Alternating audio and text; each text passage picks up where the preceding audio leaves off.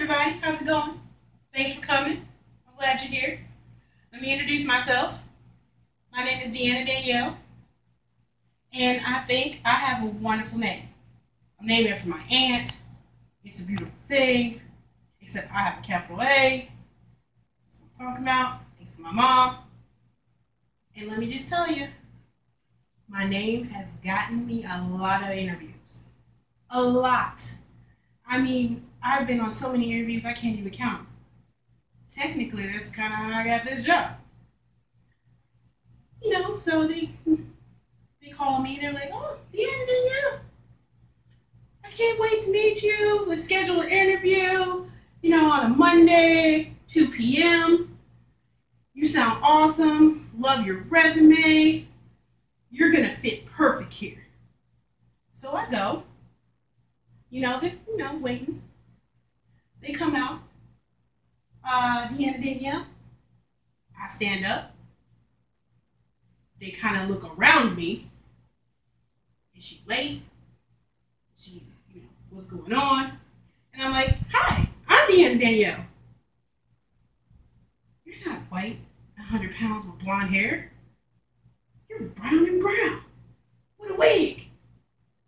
Oh, you know what? The position has just been filled.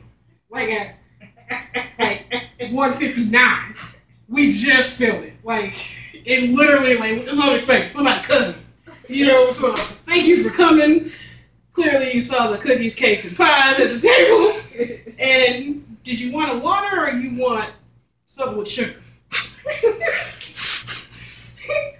Have a good time. And there's a Wendy's up the street. Just so, you know. Alright, thank you.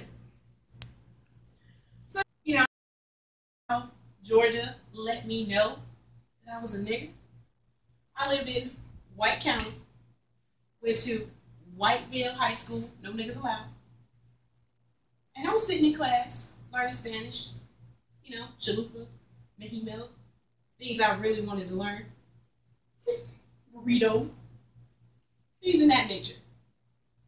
So, you know, I'm learning. White guy comes get me. He's got a black cop, so I figure it's cool. He's walking me down the hallway, talking to me. So, how you ain't living in Georgia? You know, you've been here for a year. I was like, you know, it's not bad. It's not bad. It's to get used to, you know that. We get down in this room. This dark room is dim. And then, you know, I sit down. He closed the door. Immediately. So you stole the cell phone. I'm like, excuse me?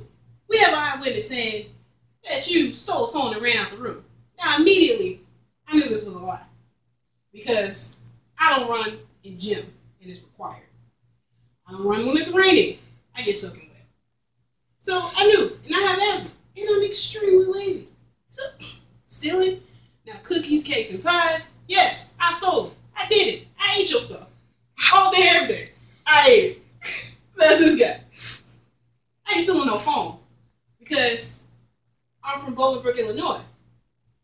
Where I didn't think I was a nigga. I already had a phone. So What did I need her phone for? I didn't. So, you know, after the smoke calmed down and everyone realized she really does only steal cookies, cakes, and pies, we have record of that.